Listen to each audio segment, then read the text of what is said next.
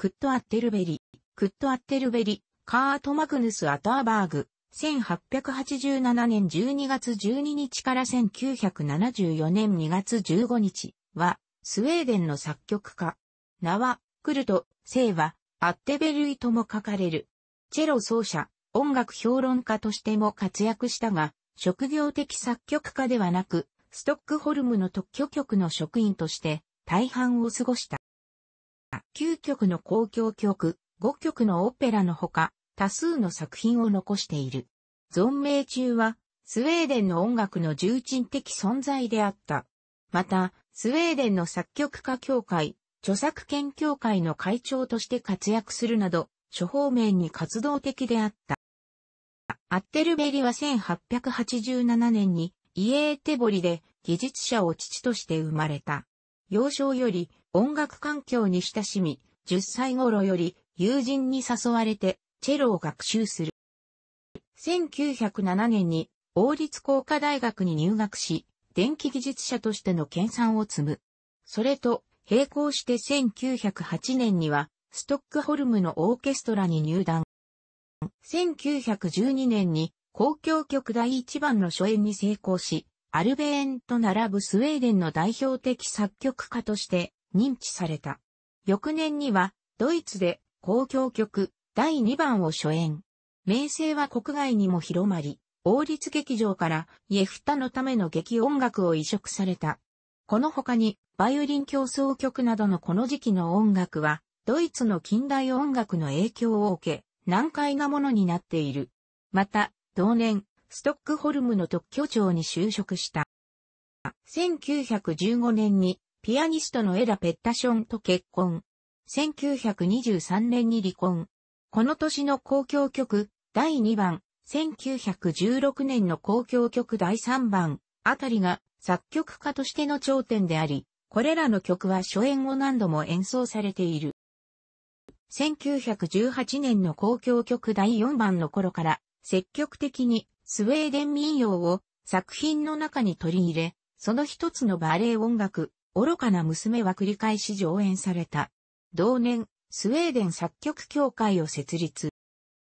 1923年には、スウェーデン著作権協会を設立。作曲家協会と著作権協会の会長を兼任。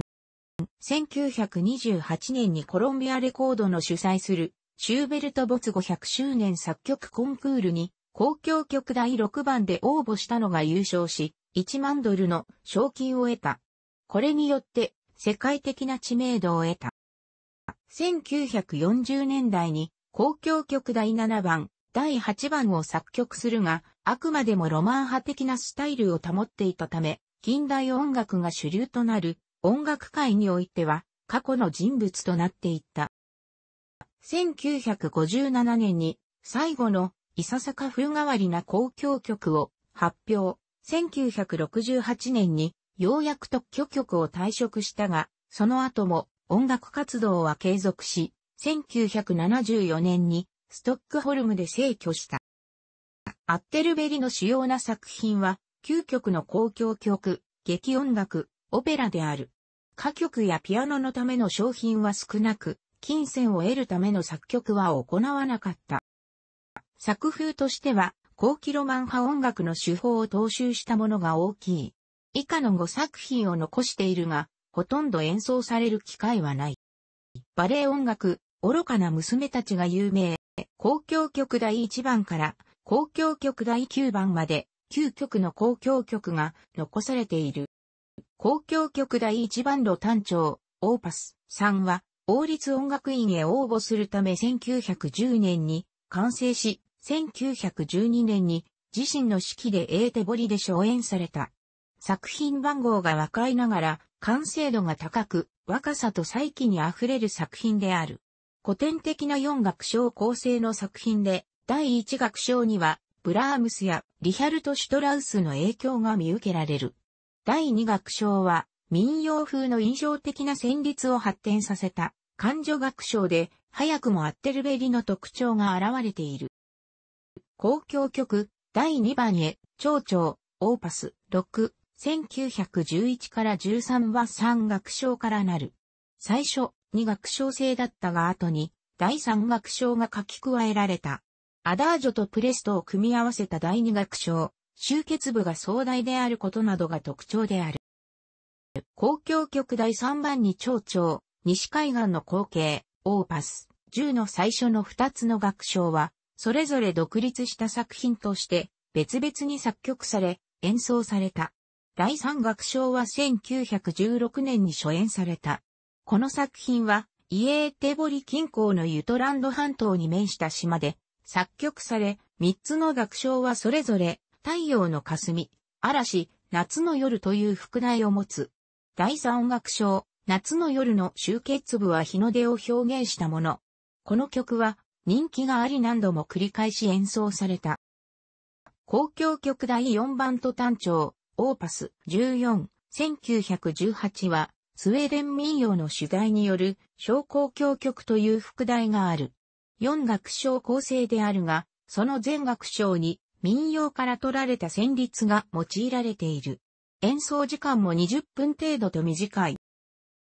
交響曲第5番に単調、オーパス20、1922は、早々交響曲の副題を持つ3楽章からなる作品である。第1楽章は、いささか不協和音じみた火星に貫かれ、ピアノの和音で終わる。第2楽章は表題を示す、早々行進曲で、ドイツの紙は、核も美しい感動的な早々行進曲と評した。修学章のコーダは、チャイコフスキーの交響曲第6番を思わせる、鎮痛な雰囲気になっている。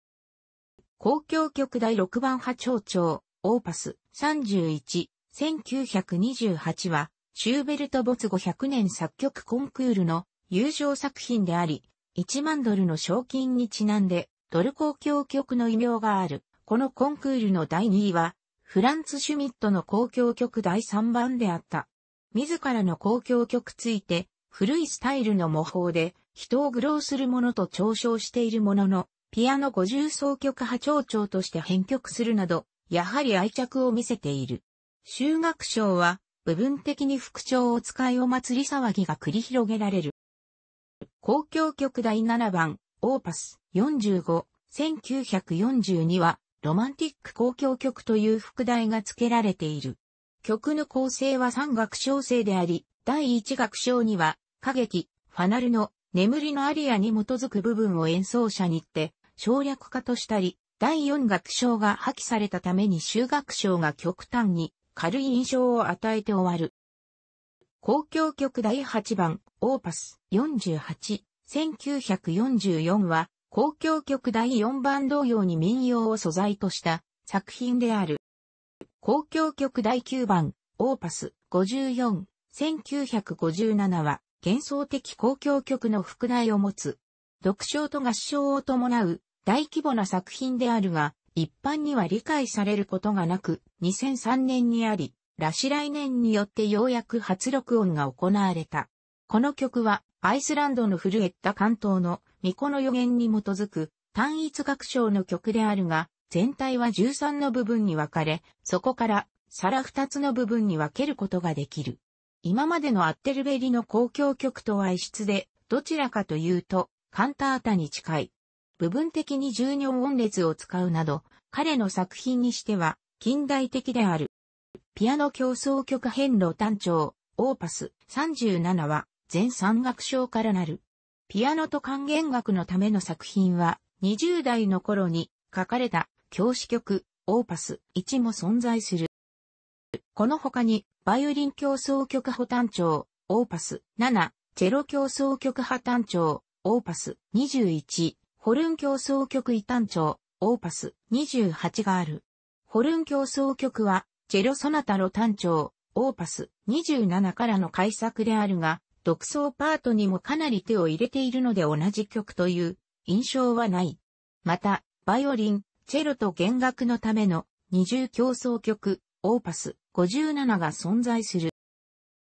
バイオリンビオラと弦楽のための組曲第3番、オーパス19から1もともとは、メーテルリンクの戯曲、ベアトリスニの付帯音楽として作曲されたもの。バイオリンビオラとオルガンによる組曲から編曲された。前奏曲、パントマイム、ワルツの3曲からなる。パントマイムは、コラール風の前奏、終結部で、再現を持ち、二層の愛を表現する甘美な旋律が流れる。